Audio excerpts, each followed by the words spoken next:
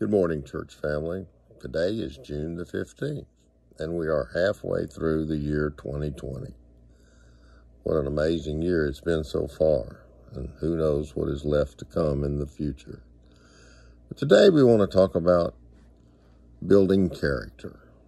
And in 2 Peter, the first chapter, and starting in the third verse, Peter says this about God and character. His divine power has given us everything we need for a godly life through our knowledge of Him who called us by His own glory and goodness. Through these, He has given us His very great and precious promises, so that through them we may participate in the divine nature, having escaped the corruption of the world because of evil desires. For this very reason, Make every effort to add to your faith goodness, and to goodness knowledge, and to knowledge self control, and to self control perseverance, and to perseverance godliness, and to godliness mutual affection, and to mutual affection love.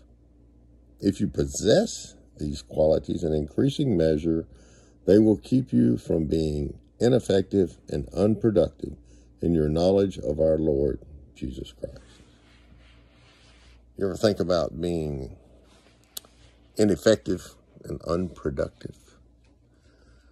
You know, as we go through trying to be better than what we are now, to build our character, it becomes work, sometimes even drudgery, just a tedious work that just just bogs down sometimes. Sometimes we feel like that we're not doing anything.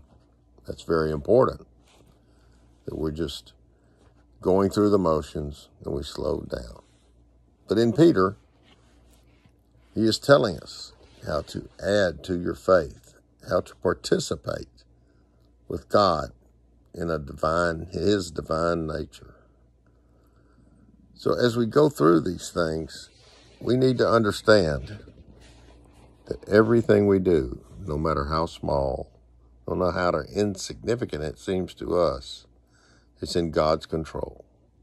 And He's building us through the things that we do as long as we are doing them through His guidance and doing all these things in perseverance and goodness to develop ourselves or develop our character, which is something you're not born with.